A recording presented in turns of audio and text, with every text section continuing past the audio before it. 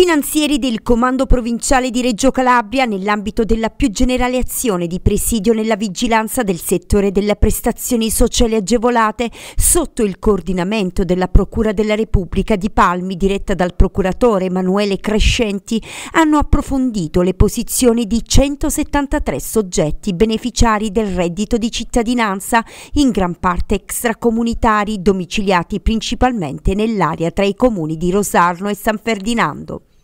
L'indagine condotta dal gruppo di Gioia Tauro ha consentito di individuare 164 soggetti di nazionalità straniera che attestando falsamente di risiedere nel territorio nazionale da almeno 10 anni avrebbero indebitamente percepito il reddito di cittadinanza.